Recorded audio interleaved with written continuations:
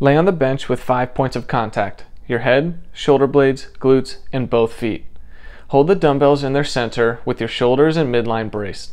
Maintaining your points of contact, lower the dumbbells until they contact your torso before pressing them back up until your arms are straight.